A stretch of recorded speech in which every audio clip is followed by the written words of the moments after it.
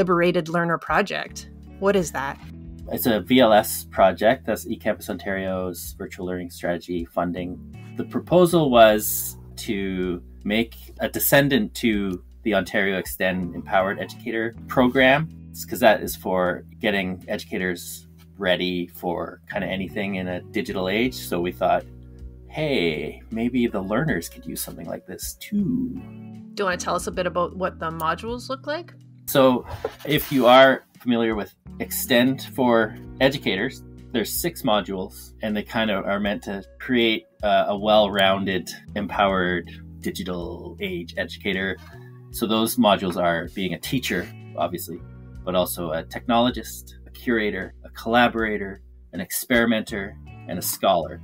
And we went a little bit more of a simple approach this time with just four modules. But still, I think you could look at yourself, think of yourself as a learner, and look at these four and think, okay, I could use some help here and there. And, and if I do those things, you know, I'll be much more kind of confident and independent as an online learner. So those four areas are being a learner. So that'll be kind of the fundamental starting point for most people. But then there's also being a collaborator, being a technologist and being a navigator of all these different institutional pathways to success that, that students have to navigate. Do you want to talk a little bit about the wicked problems?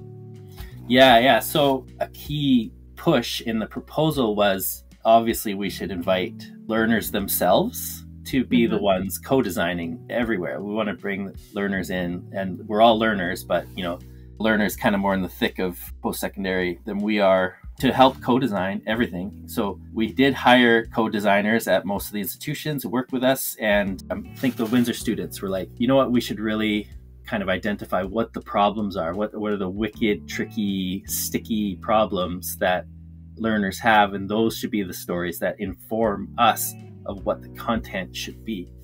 So we ran a design sprint where we offered an honorarium to anyone interested in coming and talking to each other about their, you know, talk to each other a bit to just pull these stories out of themselves and then and then put them into a written form and share them with us.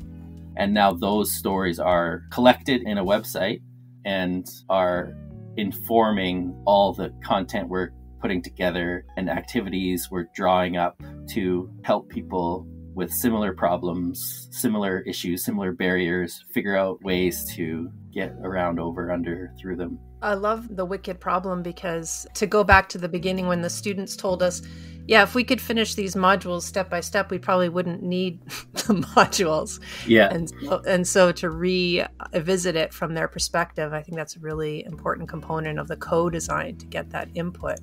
Um, so that was built into the criteria for the VLS grant, but you've really gone with it all along. So there's been students involved all the way through this project.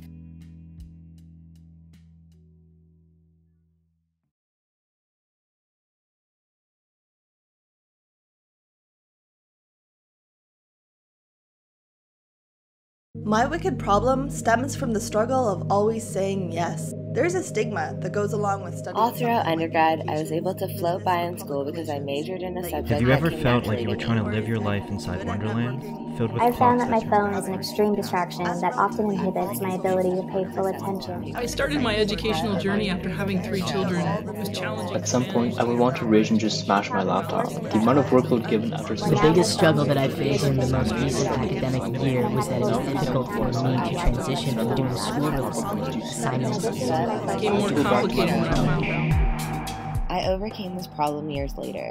I can confidently say that I'm really, truly learning.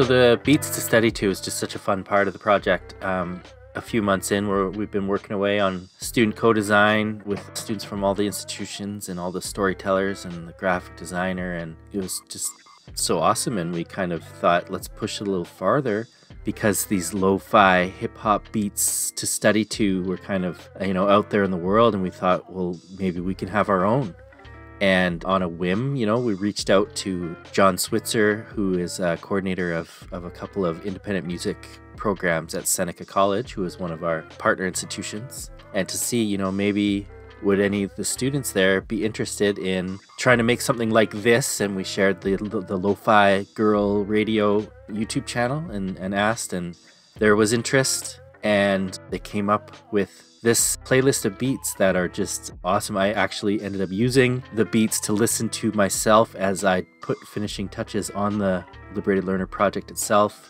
They, they blew me away with, with what they came back with. Um, so, you know, right from the very beginning, the intention was to have Ontario post secondary learners develop this thing for themselves and to have Ontario post secondary learners also be the ones themselves to create the beats to study to was just like the icing on the icing on the cake is just fantastic and just so uh, excited for the work they brought to the table too it was just awesome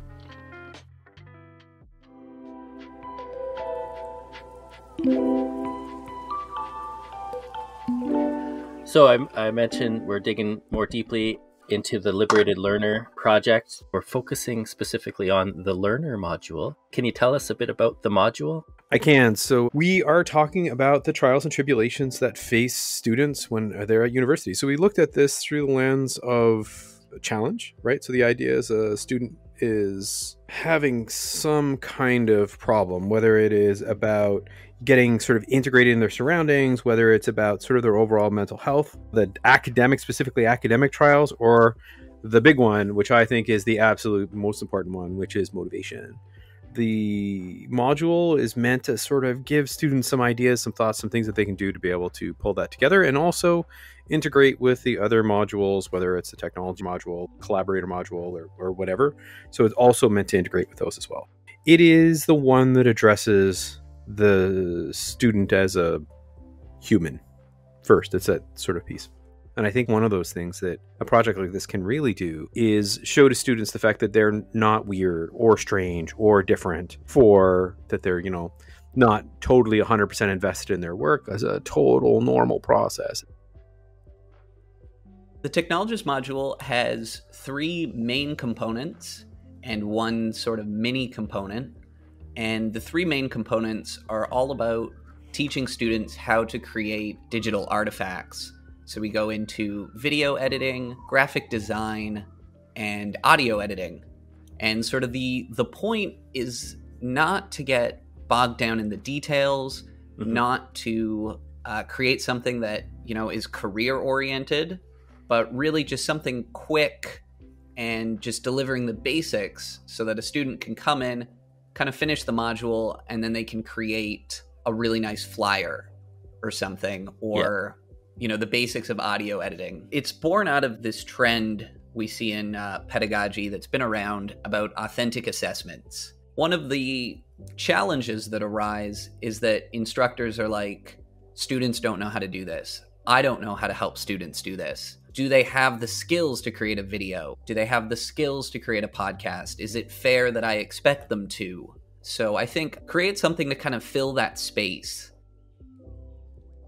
So, our Navigator module is really to help students navigate their educational journey from pre application to whatever college or university is their choice to post graduation. So, that, that entire journey that they experience throughout their post secondary education. And the theme of the Navigator module is feeling lost at sea. So, we're trying to help students navigate their way through finances, technology, access, uh, resources, social interactions, many more different types of experiences that they'll have so that they don't feel lost at sea. It's ultimately our goal is to create a module which you are the captain of your own ship and yeah. emphasize that minimum grades are the floors, not the ceilings. Yeah, the module basically looks at everything to do with working with other people or searching for other people to work with in your times of need, regardless of what those needs are. So, focus on things like working on your positionality because it's really important to know yourself and to know what your stances are on in order to know how to work with other people. And we, I also worked on pieces like how to be more open minded towards others. Like, there's an exercise on thinking about the ways you've been stereotyped to try to get you to reflect on the ways you may in turn stereotype other people, mm. whether you deem them the lazy one in the group and whatnot, and to just try to understand that there's usually a lot more context we're not privy to. Also, pieces such as mentorship. We thought that was a really important one, and it came through in some of the stories that some of the students shared with us through that design sprint we did a while back. And just the importance of having a mentor in your life and how much that could help alleviate stress and just help with the guidance and and just also the perks of being a mentor and how to be a mentor. And so yeah, it's nerve-wracking stuff, but I think it's really good to have that information out there. A lot of it is common sense, but at the same time I think it's really nice to know you're not alone and these are things other people have gone through and are going through and that these concerns you have aren't like a you problem. It's just part of the context and the situation you're in. I think that really helps with um, moving things forward and, and tackling things on.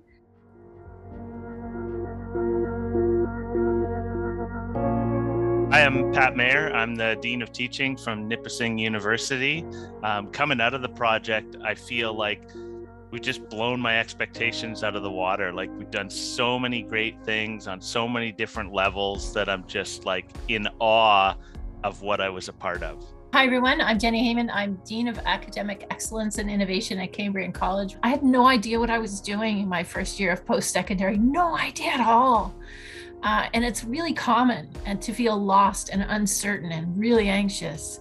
Uh, and I feel like this resource is just custom built for students who are feeling like that. Hi, everyone. Sarah Wendorf, Senior Instructional Designer with Cambrian College. Uh, how do I feel coming out of it? Definitely that this was one of the coolest projects I've ever worked on.